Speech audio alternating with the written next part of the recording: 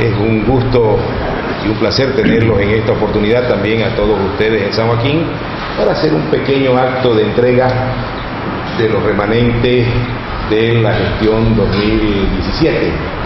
Como es de conocimiento de todos ustedes, la ley estipula, estipula claramente de que los sobrantes y remanentes de una gestión el municipio puede invertir en el tema de equipamiento. No solamente ocupamos los recursos en el tema de equipamiento, ocupamos en varios sectores.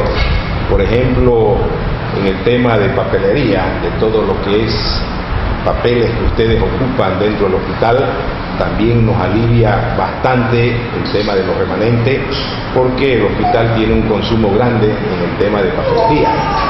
Y otras, y otras cosas, por ejemplo, los oxígenos, creo que ya el oxígeno pasó a la historia, ya en todo el año hemos comprado, si no me equivoco, una vez o dos veces con solamente tener una maquinita, con solamente tener una maquinita de oxigenación dentro del hospital.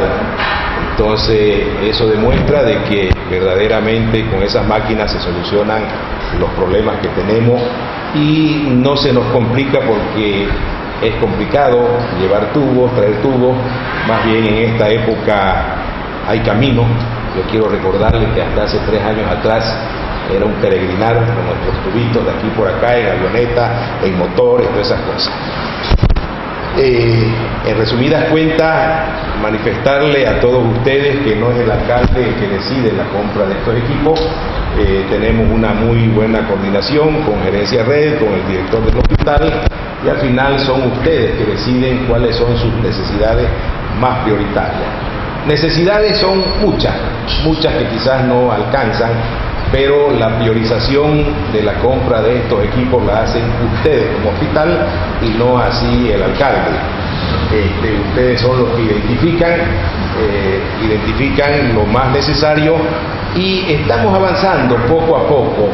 Si ustedes se recuerdan, en estos tres años se han hecho algunas compras como sillón odontológico, como los aires, como el equipamiento, y hemos ido de a poco a poco, pero al final no es la solución definitiva porque tienen muchas necesidades a lo mejor en el tema de infraestructura, pero de alguna manera estamos paliando, estamos paliando el tema de sus necesidades en el tema de equipamiento. En esta oportunidad eh, tenemos acá a la vista mencionarle que esos cuatro escritorios es con presupuesto del municipio, nada que ver con los permanentes, si no me equivoco, donde lo habremos pagado. Entonces, eh, pero eso ha sido una adquisición del, del miento, estoy mintiendo, eso también se ha cancelado con, con presupuesto del, de los remanentes. Tenemos escritorio y todas las cosas que tienen ustedes al frente. Pedirle disculpas porque lamentablemente hasta hoy día no llega el electrobisturí, que es el tema más importante, pero tenemos un compromiso de que en la próxima semana está el electrobisturí acá en San Joaquín y no queremos demorar más la entrega por solamente un aparato.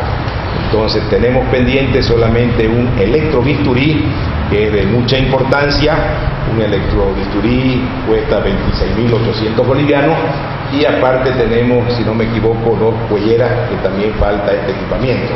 Ahorita estamos en correteo con el tema de los asientos, los están armando, no los ubicábamos en depósito, pero de todas maneras eh, hacemos entrega oficial, de una manera oficial, a través de la administradora le vamos a hacer llegar el acta correspondiente para que nos lo firmen ustedes y eh, de esa manera, doctora Mabobo, le hago entrega oficial de todo este equipamiento para que usted lo redistribuya en el hospital de acuerdo a las necesidades emergentes que tienen ustedes.